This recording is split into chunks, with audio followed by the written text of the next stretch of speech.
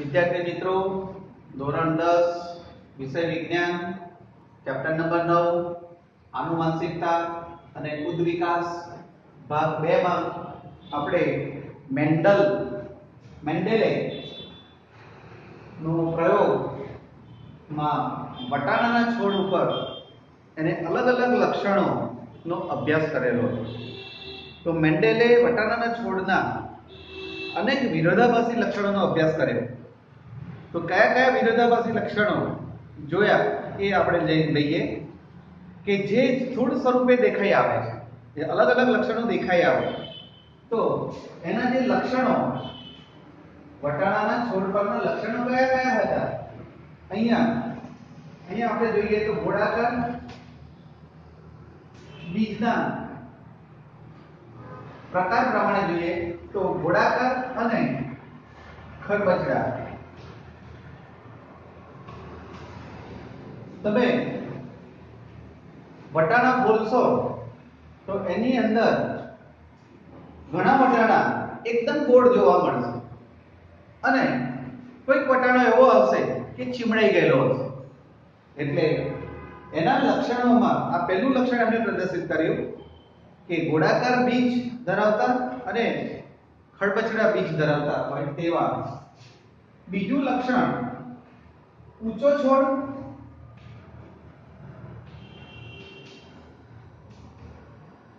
અને નીચો છોડ.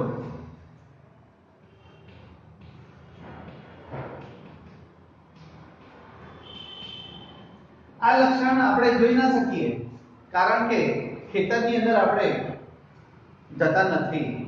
જો ખેતરની અંદર, વટાણાના ખેતરની અંદર તમે નિરીક્ષણ કરો, તો ઘણા એવા વટાણાના છોડ એવા જોવા મળશે કે ઊંચા હોય. સાઈટ હાઈટ એની વધારે હોય. વેલાની જેમ પ્રસરતા હોય. જ્યારે ઘણા વટાણાના છોડ એવા હોય કે નીચા છોડ હોય, એટલે એક બીજું લક્ષણ ભિન્નતામાં, આ લક્ષણોની અંદર કઈ કઈ ભિન્નતા જોવા મળે છે એ આપણે જોઈએ છીએ. ઊંચો છોડ અને નીચો છોડ. ત્યાર પછી ઘણા વટાણાની અંદર સફેદ પુષ્પ થાય. અને બીજા એવા ઘણા વટાણાના છોડમાં જાંબલી રંગના ના પુષ્પ જોવા મળે એટલે જાંબલી પુષ્પ અને સફેદ પુષ્પ એવા અલગ અલગ લક્ષણો જોવા મળે. એટલે આ જે લક્ષણો આપણે જોઈએ તો ભિન્નતા જોવા મળે તો આ વટાણાનો જે બીજ છે, બિયારણ કહો. તો એ તો તમને બધા સરખા જ લાગે. અમુક ટાઈમે આના પછીના પણ બીજા લક્ષણો આપણે જોઈશું. અહીંયા તેમને વિવિધ ભિન્નતાવાળા લક્ષણોના છોડ લીધા. એને ઉદાહરણ તરીકે લીધેલું છે કે ઊંચો છોડ અને નીચો છોડ. તેમાંથી પ્રાપ્ત થતી બાળ પેઢીમાં ઊંચા તેમજ નીચા છોડની ટકાવારીની ગણતરી કરી.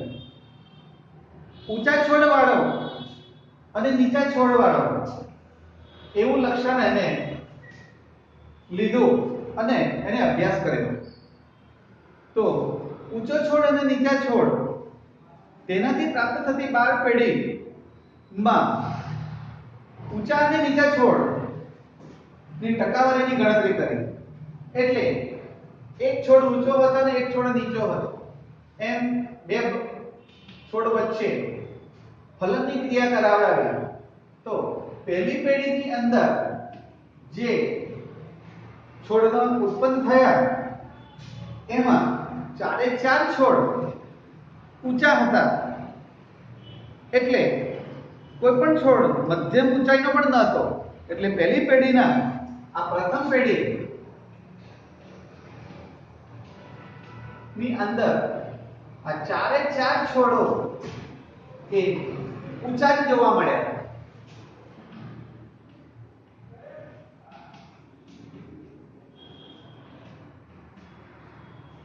હવે આ ચારે ચાર બીજા વર્ષે, બીજી પેઢીમાં ફરીથી પાછું બંને ઊંચા છોડ, આમાંના બે બીજ લઈ બંને છોડ ઊંચા લીધા અને એમની વચ્ચે પ્રજનનની ક્રિયા કરાવડાવી. ત્યારે એમાં ત્રણ છોડ ઊંચા જોવા મળ્યા અને એક છોડ નીચો જોવા મળ્યો. આમ મેન્ડેલેના પ્રયોગ દરમિયાન મેન્ડેલે સૌથી પહેલા પહેલી પેઢીની અંદર, આ બીજી પેઢી છે, દ્વિતીય પેઢી ની અંદર બંને ઊંચા છોડ લીધા હતા. અને એના પછીની જે ત્રીજી પેઢી આવી, તો એ ત્રીજી પેઢીમાં ત્રણ છોડ ઊંચા જોવા મળ્યા અને એક છોડ નીચો જોવા મળ્યો તો સવાલ એવો એક ઊભો થાય કે આ નીચા છોડનું લક્ષણ કઈથી આવ્યું? તો કે આ પેઢીની અંદર તો બંને ઊંચા છોડના જ વટાણા હતા. તો બંનેમાંથી ઊંચા છોડનું લક્ષણ અહીંયા પ્રદર્શિત થવું જોઈએ. પણ એવું ના થયું. પણ આ જે ત્રીજી પેઢીનો જે છોડનું લક્ષણ આની અંદર હતું, પણ એ લક્ષણ આમાં એ લક્ષણ દેખાતું નતું એટલે કે એને પ્રચ્છન્ન લક્ષણ હતું. એટલે એ પ્ર- પ્રચ્છન્ન લક્ષણ આની અંદર દેખાયું નહીં. અને પછી આ બંને પેઢીમાં ઊંચા છોડ માટેની જે વાત કરીએ, તો એમાં પ્રભાવી લક્ષણ ત્રણ છોડની અંદર જોવા મળ્યું. અને એક છોડની અંદર એ પ્રભાવી લક્ષણ જોવા ન મળ્યું. એટલે પંચોતેર ટકા છોડ ઊંચા થયા. અને ત્યાર પછીના જે છોડમાં એક છોડ, એટલે કે પચીસ ટકા છોડ નીચા થયા. આમ, આપણે જોઈએ કે પ્રથમ બાળ પેઢી અથવા પેઢી એકમાં કોઈ પણ છોડમાં મધ્યમ ઊંચાઈના ન હતા. બધા જ છોડ ઊંચા હતા. આનો અર્થ એ થાય કે બે લક્ષણોમાંથી માત્ર એક લક્ષણ પિત્રોમાંથી જોવા મળ્યું. આ બંને લક્ષણની મિશ્ર અસર પણ જોવા મળી નથી. હવે પછીનો પ્રશ્ન એ ઊભો થાય કે એફન પેઢી ના બધા છોડમાં પિતૃઓની જેમ ઊંચા છોડ સંપૂર્ણ રીતે સમાન હતા? તો મેન્ડેલે બે પ્રકારના પિતૃ છોડ ધરાવતા છોડને તેમજ પેઢી એકના બધા જ છોડ પર સ્વ પરાગનયન કરાવ્યું. અને પિતૃ છોડના, પિતૃ પેઢીના છોડથી પ્રાપ્ત થતી બધી સંતતિને છોડ ઊંચા હતા. પરંતુ પ્રથમ પેઢીના ઊંચા છોડની બીજી પેઢી સાથે કે બીજી પેઢીના બધા છોડ ઊંચા ન હતા. એટલે તેમાં એક ચતુર્થાંશ સંતતિ નીચા છોડ ધરાવતી હતી. આ દર્શાવે છે કે F1 પેઢીના છોડ દ્વારા ઊંચા તેમજ નીચા બંને પ્રકારના લક્ષણનું વહન થયું. પરંતુ માત્ર ઊંચા છળનું લક્ષણ અભિવ્યક્ત થયું. આમ, લિંગી પ્રજનન કે પરફલન દ્વારા ઉત્પન્ન થતા સજીવોમાં કોઈ પણ લક્ષણની બે પ્રતિકૃતિઓ કારકો હોય છે. પ્રતિકૃતિઓ કે કારકો હોય છે, જે આનુવંશિકતામાં વહન પામે છે. આ બંને એક સમાન હોઈ શકે અથવા ભિન્ન પણ હોઈ શકે. જે તેમના પિતૃઓ પર નિર્ભર હોય છે. આ પરિકલ્પનાને આધારે આનુવંશિકતાની અહીંયા આકૃતિ આપેલી છે. એટલે અહીંયા વટાણાના છોડ માટેની પાન નંબર એકસો ચુમ્માલીસ ઉપર આકૃતિ આપેલી છે. એટલે ઊંચો છોડ, નીચો છોડ, એમાંથી જે છોડ ઉત્પન્ન થયા, આ બંને વચ્ચે પરપરાગનયનની ક્રિયા કરાવડાવી ચારે ચાર છોડ ઊંચા જોવા મળે. આ બંને વચ્ચે સ્વપરાગનયનની ક્રિયા કરાવડાવી તો આની અંદર જે લક્ષણ નીચા છોડનું એ પ્રદર્શિત થયું નહીં. અને ઊંચા છોડનું લક્ષણ પ્રદર્શિત થયું. અને પછીની પેઢીની અંદર ત્રણ છોડમાં ઊંચાપણું જોવા મળ્યું અને એક છોડમાં નીચાપણું જોવા મળ્યું. તો આ નીચાપણું લક્ષણ આની અંદર પ્રભાવી છે. અમે નીચાપણાનું લક્ષણ આ પ્રચ્છન્ન છે. એવી રીતે કારકો ઉત્પન્ન થયા. એટલે અહીંયા આ પ્રમાણેનો ગુણોત્તર આપણે લઈ શકીએ કે એના માટેની જે ગણતરીની વાત કરીએ, તો શું કહે છે? આ પ્રવૃત્તિમાં ટી ટી તેમજ કેપિટલ ટી અને સ્મોલ ટી એમ બંને ઊંચા હતા. એટલે આ જે છોડ છે, એને આપણે ટી ટી અને આમાં ટી ટી લઈશું. બંને ઊંચા છોડ એટલે કેપિટલ અને આ ટી અને આ સ્મોલ ટી એ પ્રમાણે લઈએ. તેમાં માત્ર ટી ધરાવતો એક છોડ હતો એમ જોવા મળે. એટલે અહીંયા બંનેની અંદર આ જે લક્ષણ આની અંદર ઉતરી આવ્યું એટલે ટી લક્ષણ જોવા મળ્યું. બીજા શબ્દમાં કહીએ તો ટી એકલા છોડ ને ઊંચા બનાવવા માટે પર્યાપ્ત છે. જ્યારે નીચાપણા માટે ટી આ બંને લક્ષણના કારકો હોઈ શકે. કેપિટલ ટી ધરાવતા લક્ષણને પ્રભાવી લક્ષણ કહ્યું. જ્યારે સ્મોલ ટી લક્ષણ ધરાવતું એને અપ્રભાવી કે પ્રચ્છન્ન લક્ષણ કહેવાય છે. આ કયું લક્ષણ પ્રભાવી છે અને કયું લક્ષણ પ્રચ્છન્ન છે એ આગળની આકૃતિની અંદર દર્શાવેલું છે. એટલે એ આકૃતિ તમે પૂરેપૂરો તમે અભ્યાસ કરો તો તમને એનો ખ્યાલ આવશે. એટલે પિતૃ પેઢીમાંથી વનસ્પતિમાં અમુક લક્ષણ પ્રદર્શિત થાય છે અને અમુક લક્ષણ પ્રદર્શિત થતું નથી. એટલે કયા પ્રકારનું લક્ષણ આપણે જરૂરી છે એના માટે આખી એક જીવ વિજ્ઞાનની જીનેટિકલ એન્જિનિયરિંગની શાખા છે એમાં આનો અભ્યાસ સરળતાથી કરી શકાય છે.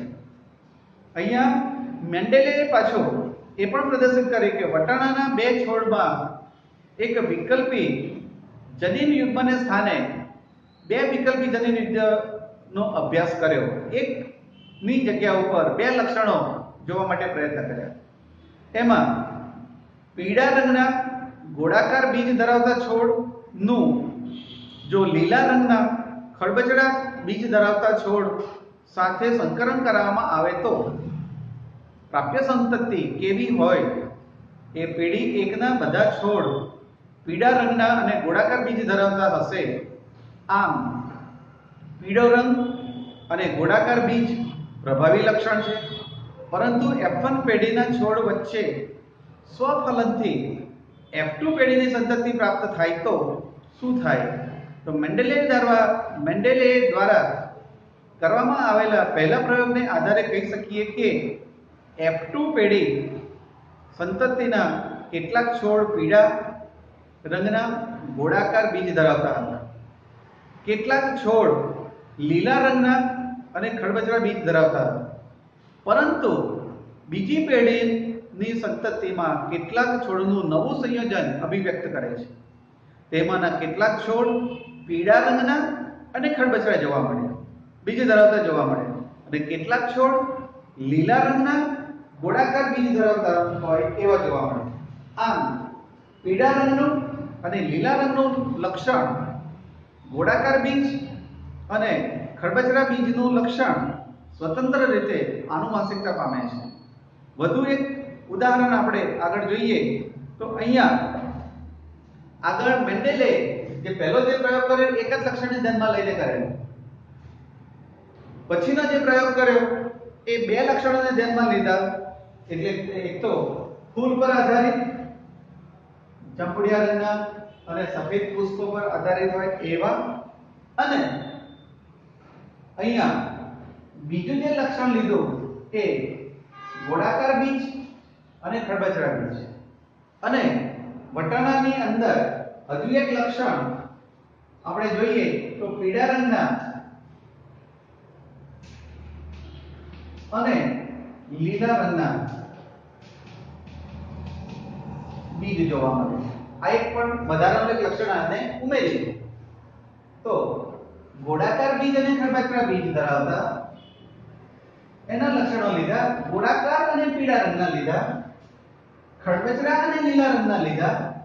એટલે કે એક જ છોડમાં એવું લક્ષણ જોવા મળ્યું, એવો છોડ પસંદ કર્યો કે એના બીજ પીળા રંગના હોય અને ગોળાકાર બીજો છોડ એવો પસંદ કર્યો કે તેનો રંગ લીલા રંગનો બીજ હોય અને ખડબચડું બીજ હોય. એ બંને વચ્ચે ફલનની ક્રિયા કરાવી સંકરણની ક્રિયા કરાવી, ત્યારે અમુક લક્ષણ એવા જોવા મળ્યા કે ગોળાકાર બીજ અને લીલા રંગના જોવા મળ્યા. ખડબચરા બીજ અને પીળા રંગના બીજ જોવા મળ્યા. એટલે આ જે બીજું જે લક્ષણ છે, એ આનુવંશિક લક્ષણ જે સ્વતંત્ર અસ્તિત્વ ધરાવે છે એમ આપણે કહી શકીએ. એટલે આનુવાંશિક લક્ષણ સ્વતંત્ર હોય છે. એટલે આ લક્ષણો ઉપરથી આપણે જો માનવની અંદર પણ જોઈએ તો અમુક લક્ષણ માતા અને પિતાની અંદર ના હોય. પણ એના દાદાની અંદર એ લક્ષણ હોય તો એ લક્ષણ બાળકના પિતાને છોડી અને બાળકની અંદર એ લક્ષણ આવી શકે. એટલે આનુવંશિકતાના લક્ષણોમાં આપણે જો જોઈએ તો પેઢી દર પેઢી લક્ષણો બદલાતા રહે છે, ભિન્નતા જોવા મળે છે. એટલે ઘણા રોગોનું પણ આ લક્ષણ આ રીતે અભિવ્યક્ત થતું હોય છે. એટલે આના પછી આપણે આ લક્ષણો પોતાની જાતે કેવી રીતે અભિવ્યક્ત થાય છે, એના વિશેની ચર્ચા પછીના ભાગની અંદર કરીશું. અસ્તુ.